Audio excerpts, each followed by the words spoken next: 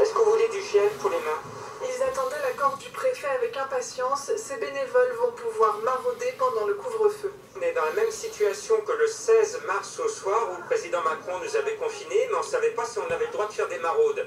Et bien là, la semaine dernière, pareil, euh, bis repetita, M. Macron nous dit euh, c'est le couvre-feu, mais est-ce qu'on a le droit de faire des maraudes pour les sans-abri de nuit? Heureusement, j'ai reçu hier la réponse officielle du préfet qui nous soulage. Il me dit je vous confirme que votre activité respect des normes sanitaires. Le président de l'association devra fournir une attestation de bénévolat. Les participants pourront sortir sans risquer d'être arrêtés car il s'agit bien d'une mission d'intérêt général, un soulagement pour ces bénéficiaires habitués. Depuis des années, ça existe.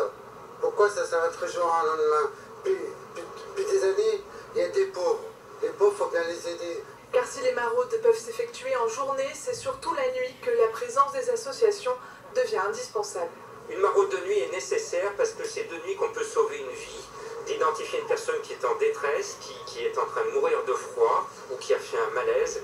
Et souvent, ce genre de situation, on le remarque de nuit, euh, dans des endroits un peu cachés, et on sauve des vies l'hiver. L'association Donner la main don de soi commencera les maraudes nocturnes à partir du 2 novembre, au début de la trêve hivernale.